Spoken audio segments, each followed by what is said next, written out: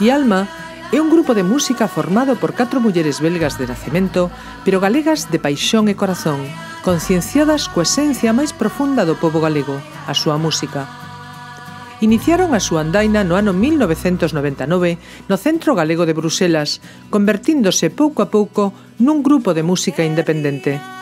Teñen no mercado varios álbumes de gran éxito comercial nos que fusionan música tradicional galega con músicas do mundo, provocando no público unha aceptación moi favorable á nosa cultura. A nosa música non ten fronteiras.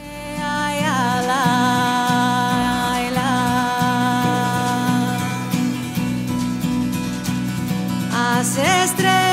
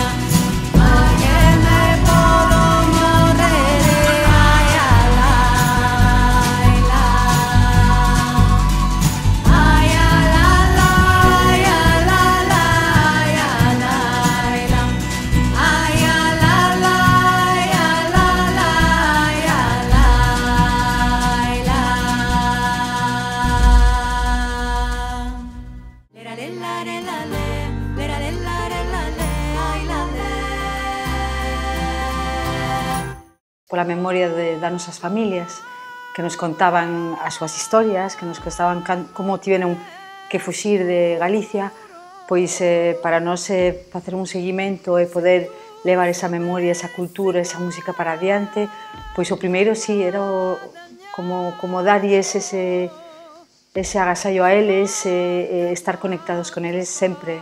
Entón, para nós Galiza é, claro, pois o noso primer país.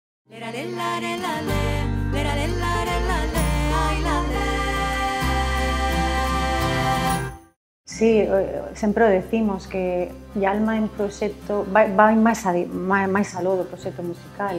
É como unha misión que temos, non? estando, no, estando fora, de, de sempre levar a Galicia por diante, polo mundo inteiro e iso así como un asai aos nosos pais que, que eles nos transmitiron a, a cultura, o, a lingua, o bo comer, entras nas nosas casas, e se fala galego, eh, se come galego, se canta en galego, Entón, sí, para nós, sí, é unha carga emocional falar disto eh, e, e nos escenarios, nos, nos escenarios belgas ou, ou noutros países, sempre emocionanos. No? Ademais, co, co último proxecto de Camiño, ela fai unha narración que é unha, un diálogo entre a aboa e a neta, que ah, a neta lle pregunta a boa, por que marchaste? Cando marchaste? Onde, onde quedou o avó? Eh, quen te ensinou francés? Eh, e todo isto, pois, emocionanos a cada vez, da mesma maneira, non? Eh, ainda por riba, se hai xente da nosa familia, moito máis. Lera, lera, lera, lera, lera, lera, Alguns temas son, son bueno, casi todos son tradicionais, pero cambiamos a letra, non? Ponimos a letra nosa propia que nos axudou Brais Fernández, que é un, un amigo noso, un gran poeta, e que lle puxo texto ao que nosos nos sentíamos, non? A nosa historia real. E iso tamén é unha, un paso importante para Yalma, non? É realmente o primeiro traballo máis personal que, te, que temos. Lera, lera, lera, lera, lera, lera.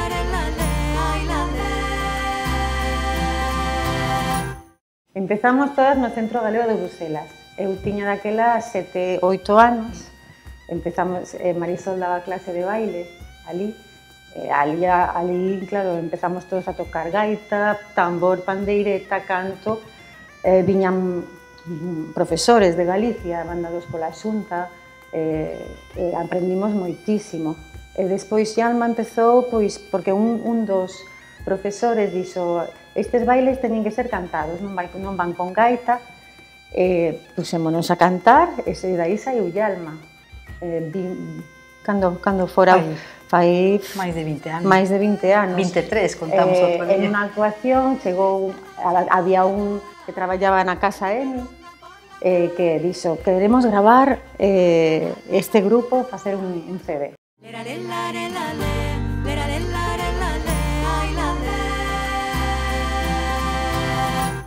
Nós non nos dábamos conta que a música tradicional pode aportar tanto a xente de fora. Galegos ou non galegos. Penso que toda a xente, sobre todo en Bruselas, que son unha capital multicultural de todas as identidades, de todas as culturas, que teñen un percorrido de historias de migración en, de todos os países, identifícanse moitísimo a nosa historia, e, e, e, e claro, cando cantamos na nosa lingua, cando facemos o ailalás, pois cantan, eh, nos piden a traducción das letras, eh, eh, din, é que o galego é como como unha melodía, xa cando falades xa, xa é cantado, xa, casi falando a identidade, a cultura, a raíz, e saber de onde vimos, penso que eso transmitimos a, aos nenos galegos, pero tamén a todos os nenos que, que están en Bélxica e que son nenos do mundo. Non? Lera, lera, lera, lera.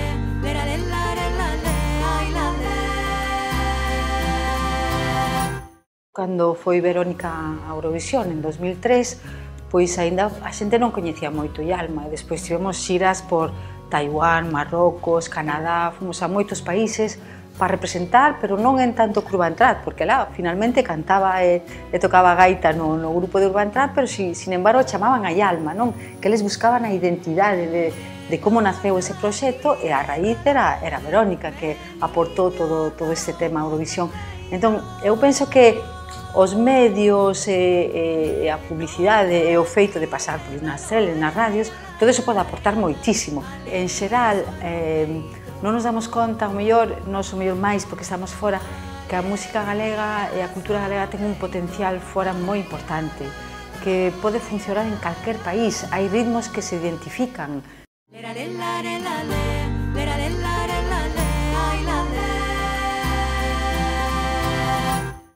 Nós o facemos dende sempre porque vivimos en Bruselas. É unha capital multicultural e podemos atopar músicos moi bons e, e de moitos países, de moitas nacionalidades diferentes. Entón, para nós sempre os encontros foron importantes. En, o principio era na casa de Marisol, eh, ela coñecía músicos, e for, a, facíamos aí unha jam session e disfrutábamos un montón con iso. Despois eh, no Centro Galego tamén, no, en Music Public, que é unha asociación ali onde María, Marisol foi fundadora, que é unha asociación que fai concertos e tal. Eh, e, entón, sí, a nós, bueno, interesarse a cultura dos demais é se enriquecer a túa propia. Entón, sempre sempre quisemos cantar en árabe, en, en húngaro, en, eu que sei, que fixemos máis eh, co, coa cantante de Costa de Marfil. Para nós sempre foi importante. Lera, lera, lera, lera.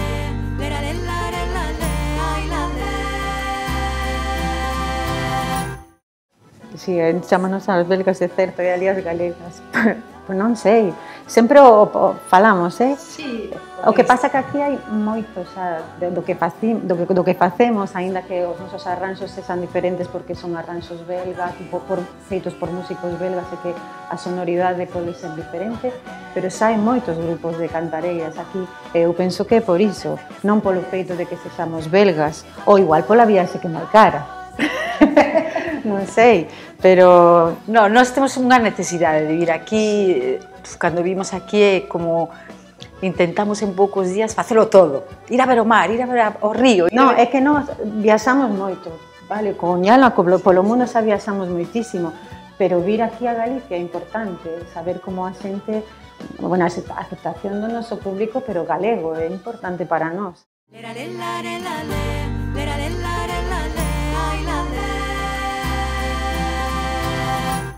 a idea de facer pontes entre Galicia e, e, e fora, pois eh, xa levamos, eh, xa temos datas para eh, Xurxo Fernández que vai no gran escenario na abertura do Ziget Festival. Ziget Festival son enorme, sí. son 100.000 persoas, son 20 escenarios nunha illa, é precioso, entón poder levar a nosa música ali É, é porque Yalma xa foi, entón o noso que damos pois son contactos de xente que lle encantou o concerto e e, existen máis grupos como a vos en Galicia? Sí, claro que sí. Entón, nosa idea de, de poder apoiar a toda esta xente, levamos os da baixo no Festival Brosela, Brosela que fai un día folk, un día jazz, bueno, veo o Guadi, veo o Xía facer varias datas, Mercedes, Mercedes Peón, bueno, eh, Xavier Díaz. É curioso porque despois eh, na, na publicidade que fan os centros culturais, os teatros poñen é un pouco como as nosas dialgas nacionais, sabes? Entón, para nós é super bonito, non? Que os belgas digan que fallan, pagan esa comparación, non? Se coñecedes as ou como as nosas dialmas, é moi bonito, o sea, nos emocionanos moito.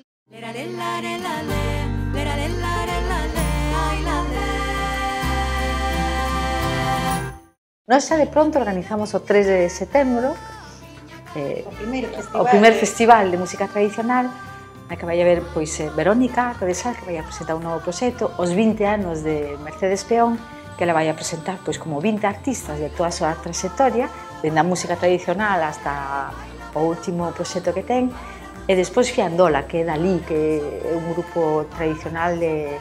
En, que, en Betanzos, en non Beta, dixeches en, eh, onde... Eh, Oza dos Ríos, que a lodiño de, de Betanzos, é moi bonito para nós, como decir, pois vamos a facer dende fora un festival en Galicia e pois por que non? Eh, e penso que hai moitísimos eh, galegos de emigración que esperan eso, porque eles cando veñen nas vacacións o que queren ver é eh, o noso.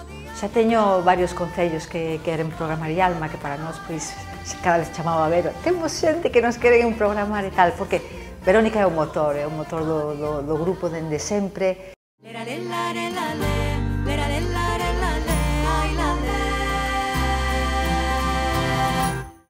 Foi o líder do grupo, foi o líder do grupo Yves Barbieux daquela do grupo Urban Trad que dixo, vale, de feito, cada ano en Bélxica eh, vai a parte flamenca representando Eurovisión e un, un outro ano a parte walona, a parte francófona.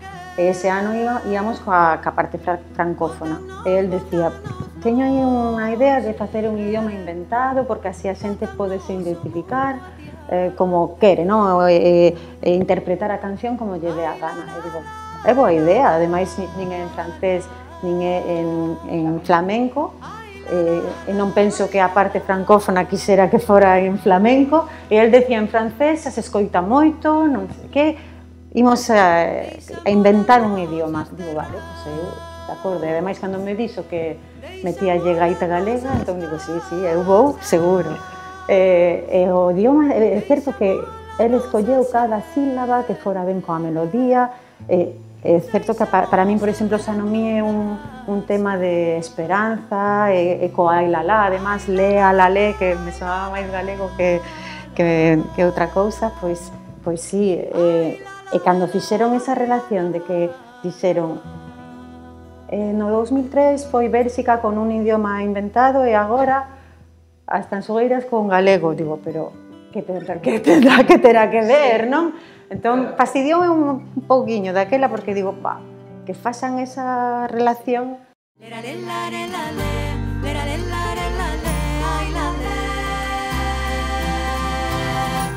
E o motor principal do centro galego, do centro galego sempre foi a gaita, a pandereta, o canto. Entón, eso era como levar un pouco a Galiza por dentro. E non era no estilo que decimos morriñente, ai, sempre vides cada morriña e todo iso. Non, penso que era unha necesidade para poder avanzar, porque se ti, se si ti queres conectar cos teus, ca tua familia e, e, e poder seguir traballar en un país que finalmente é unha desgracia marchar do seu país porque os nosos pais non falaban francés, non é a facilidade que temos nós.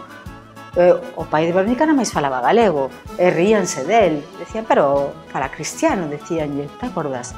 Era horrible escoitar iso, entón, penso que a, a labor dos centros galegos, que queiramos ou non, que fixeron un traballo bo ou máis malo, depende do, de, de que centro, penso que eso foron a, a primeira esencia, non? Había un, un poeta belga, Wannes van de Velde, que morreu fai pouco, que tamén cantou con nós, moi famosa lá. El era de Amberes e decía, eu sempre viña a, a coller os novos galegos que chegaban no porto de, de Amberes e sempre viña con un gaiteiro. E nada máis que a xente cando chegaba a, a, a terra en Amberes e escoitaban un gaiteiro aí que os recibía, para eles era, era impresionante, non?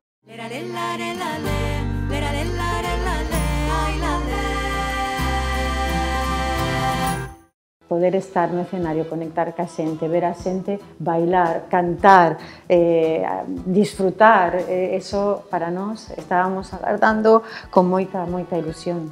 Queras, queras que non, aunque nunca vivimos aquí, nunca estivemos vivindo aquí, bueno, ahora, agora Marisol sí, pero eh, como se transmite eh, a música ou a lingua, eh, pois tamén os nosos pais transmitironos a, a horriña, que a temos así como así, como unha transmisión eh, e a temos, aínda que non viviramos nunca aquí. Temos esa morriña, sempre debe ser. Sí, oxe, oxe, oxe, a necesidade de volver, sí. de volver. Sempre. Sí, oxe vir de, de, de Santiago e ata Vigo e ver, e, ver o mar, e ver a luz, sí. e ver, Ay, non sei, conectar ca xente, sí. eso o principal. Ali non, non temos bastante luz.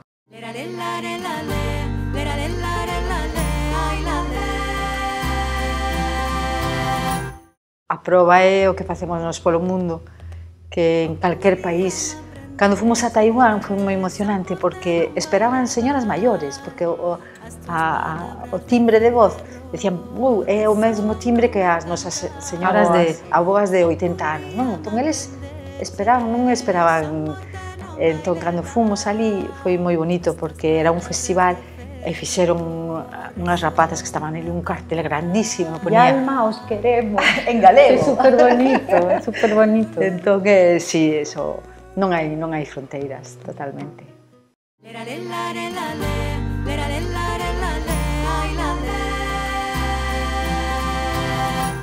Nos chaman porque cantamos en galego. Sí, sí, e ademais no, é moi que chama, creo moito a atención de que sexamos belgas cantando música galega tradicional dos nosos pais e eh, creo que aínda chama máis a atención. Hai, hai teatros moito na Alemanha, na Alemanha facían a traducción dos textos, porque para eles era importante, e despois non podían seguir porque estaban co, co concerto, e decía, é que xa a música, na máis verbos, xa transmitides o que din a letra. Entón, despois sí, está máis convencido cando van para casa e que leen e tal, pero nos contamos unha historia, facemos un pouco de o que conta o tema e despois moita xente que, que escoita aquí inglés non saben o que din a xente, entón Sin embargo, a nosa lingua penso que pode chegar pois ao mundo enteiro, eso sí.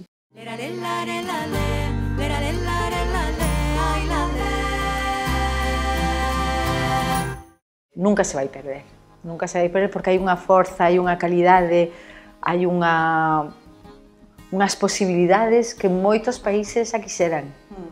Xa quiseran ter. Eu penso que se a gaita fora a China, que xa habría gaitas por todas as tendas, sabes? Porque, non sei, eh, eh, por cando vamos a festivales celtas e tal, penso que Galicia está moi por alto de, dos demais países, tanto en baile, en, eh, en música, en canto, en pandeireta, é impresionante. Penso que a venta de pandeiretas que hai, eu cada vez que vou a Bélxica teño que levar pandeiretas para xente belga. Hai moitísimos belgas que tocan a pandeireta galega, a gaita galega, hai un grupo que se chama Contrabanda, En Bélxica son 30 gaiteiros belgas. Son, belgas. son todos sí. belgas.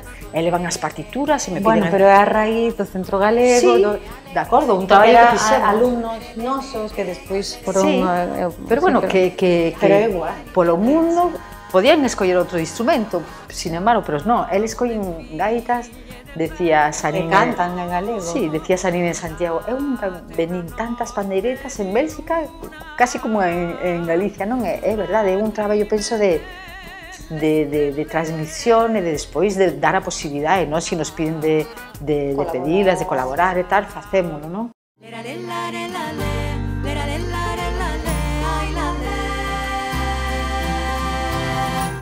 é unha vontade de, de todos, de, de, de ir para diante, aínda que, que o falemos mal, falalo. O peor galego que, que se fale o que non se, é que, o que non se fala. Entón, nos intentámoslo de, de transmitilo aos nenos, gusta e ese, a veces con bromas e tal, e despois, pouco a pouco, eh, e aquí tamén, penso que é un traballo nas escolas, penso que é un traballo dende pequeniño, de, de, desde os primarios, desde de, de poder intentar de que, de que o galego este ali, porque cando vas cunha receta, cando falas o que vas ao bosque, tal, hai, hai cousas que non, non se poden traducir, que son galegos. Cando falas dos toxos, falas dos toxos, non podes falar, non podes dicilo en castelán, entón estos nenos o levan, é, é moi fácil que o desenrolen, pero hai que apoiarles, hai que axudarles, e ven da esencia, ven dos pequenos, e si é un traballo dali de, dos pais, do, dos profes, de, da vontade política e, e, de, e, de, e de cantar tamén, porque nós aprendimos galego cantando. Ah, o meu fillo canta galego, falar pouquiño, yo, lle falo eu, pero falar ainda non se lanzou, pero cantar canta. E logo o galego que iras ou non chega a moitos países, non en Bruselas vas ás tendas portuguesas, podes falar galego, cos brasileiros podes falar, é por todo, podes falar o galego en moitas pode axudar a moitísimo, é para desenrolar outras linguas. Se ti sabes xa o galego, o castelán e o francés e demais, despois as demais linguas funcionan, non? Entón, a, a lingua materna é moi importante.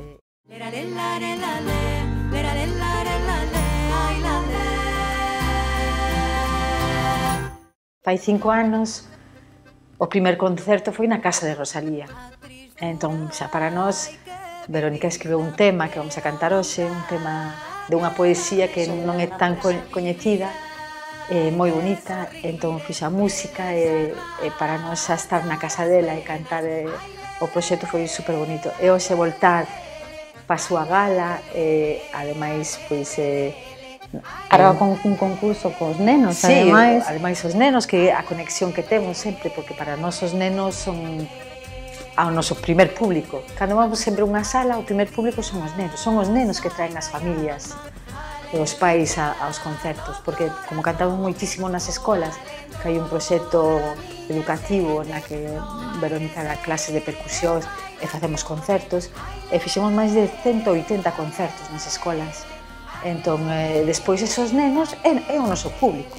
E cando vamos a teatros, veñen e traen os pais, non? É impresionante. Entón, eh, cantar eh, hoxe para, para Rosalía e para a xente que está ali, cantamos a onte eh, en Pontevedra e foi super emocionante. Foi, contamos a historia da, da, da, da boa caneta e despois eh, as cancións que falamos de liberdade, de dignidade, de, de muller, todo o que Rosalía é, que foi, que, que é e que será, porque Rosalía vai estar sempre presente.